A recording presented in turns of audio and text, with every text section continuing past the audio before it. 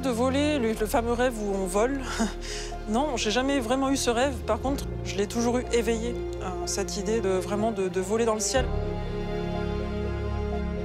Je- J'en reviens toujours pas euh, en regardant en arrière, en connectant les points, et je me dis mais waouh quoi, t'as as ton avion, tu vis ton rêve. Euh, mais finalement, ce rêve impossible, mais auquel j'ai quand même cru et que j'ai rendu possible. Le vent 330 degrés de 3-2, rappelez trajectoire à droite. Je suis quelqu'un de très stressé au moment où je m'installe dans l'avion, euh, les ceintures, euh, tout, tout- tout ce qui est installation, organisation. Et j'ai toujours cette peur d'oublier quelque chose. Ils sont où mes gants? Ah, Ils sont là. Il y a toujours des gens autour de moi qui me parlent. Et au moment où je ferme le cockpit, c'est un moment de... Je sais que quand je pars voler et que j'ai ce sourire, c'est le moment où je, je ferme euh, la verrière. Je suis dans mon monde, plus rien euh, ne m'arrête. Mais c'est vraiment la transition, la fermeture de la verrière du monde sol vers le monde du vol.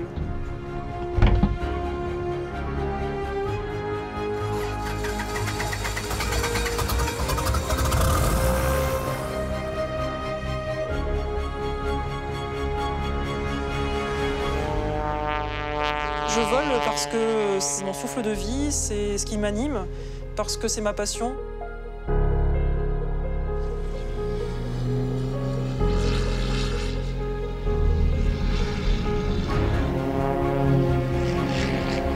Je suis quelqu'un de plutôt maladroite sur Terre et pas forcément toujours à l'aise avec mon corps. Et le fait de- d'enfiler un avion, ça me donne beaucoup d'aisance, beaucoup de joie et ça me permet de transmettre ce que j'ai à transmettre. Pour arriver à faire voler un avion, ça sous-entend beaucoup de travail derrière. C'est peut-être le seul moment où euh, mon cerveau qui pense à 1000 à l'heure euh, s'arrête et je dirais presque que c'est du repos pour moi de, de voler.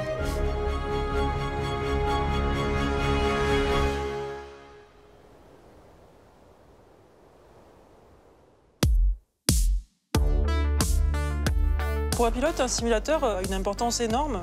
C'est un élément incontournable d'une formation de pilote. Pour euh, avoir un ordre d'idée, lorsque j'ai fait ma qualification sur l'Airbus A320 chez Air France, le simulateur a occupé à peu près 90% de la formation.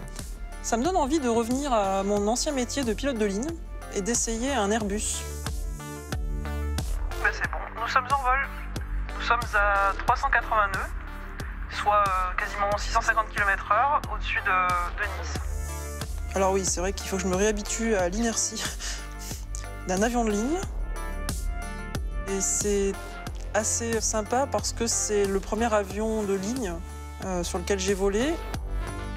Tu peux te balader dans le monde entier avec les décors qui sont fidèles à la réalité.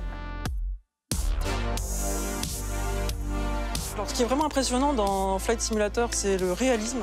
J'ai décollé de l'aéroport d'Avignon, ma base, et mais incroyable. Le hangar duquel je suis parti est exactement le même. Enfin, c'est euh,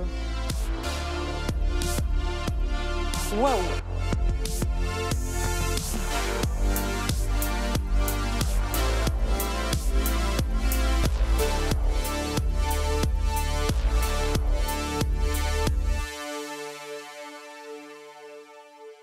En aviation, en- enfin en pilotage en général, que ce soit un avion, une voiture, une moto, 90% du pilotage se fait grâce à la vision.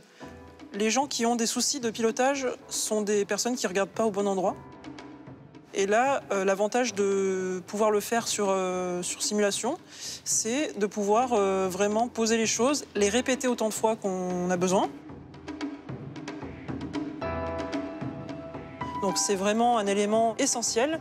Et alors il a permis bien évidemment de réduire les coûts de formation, mais surtout il permet de travailler des situations euh, qui n'existeraient pas dans la réalité, sauf dans des situations vraiment dramatiques. On est euh, dans un environnement qui est quand même euh, pas naturel pour l'être humain, donc on est soumis à diverses conditions météo. Bizarrement, c'est pas souvent en voltige, c'est plus dans des voyages de A vers B pour emmener l'avion de voltige, où on se retrouve dans des conditions, on peut rentrer dans un nuage, et là ça pourrait être catastrophique.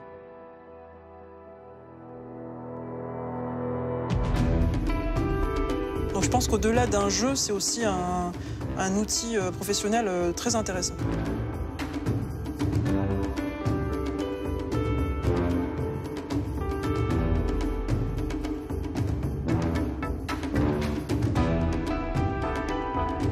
Et bah c'est super. Le, seul truc qu'on n'a pas finalement, c'est les sensations euh, liées au vol, c'est-à-dire le, l'effet des jets, l'accélération, le roulis, etc. Mais par contre, tout ce qui est vision, c'est euh, bah, euh, quasiment la réalité.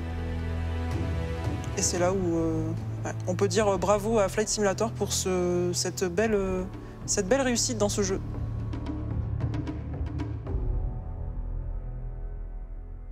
Alors, nous allons tester le jeu avec la manette Xbox.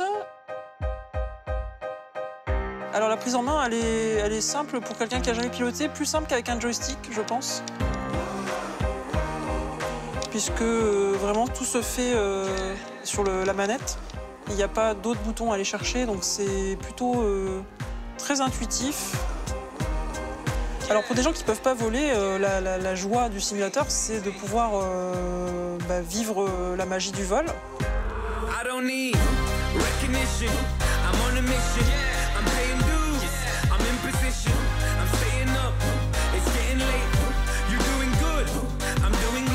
En tout cas, quelqu'un qui serait vraiment euh, intéressé euh, dans le sujet et euh, d'une manière financière, médicale ou de carrière n'aurait pas accès à une machine aussi exceptionnelle que, l'Airbus, par exemple, il peut exactement vivre au détail près de ne pas être en vol, le vol tel qu'il existe dans la réalité. Wage isn't minimum, but when you know your worth is more, you make your own curriculum. Study in the industry, I know you see me killing them. Nice, it felt so real. I had some moments I was living them. C'est un outil fabuleux pour des jeunes aussi qui voudraient devenir pilotes et qui n'ont pas euh, forcément les, les moyens de se lancer. Ils peuvent euh, quasiment arriver en étant formés, euh, en n'ayant jamais volé avant. Formally. I know this life is right for me. I know the future's bright for me. I Je pense qu'aujourd'hui, le rêve est accessible quasiment à tout le monde. C'est euh, la belle réussite de l'avoir fait sur euh, console, elle est euh, dans l'accessibilité au grand public.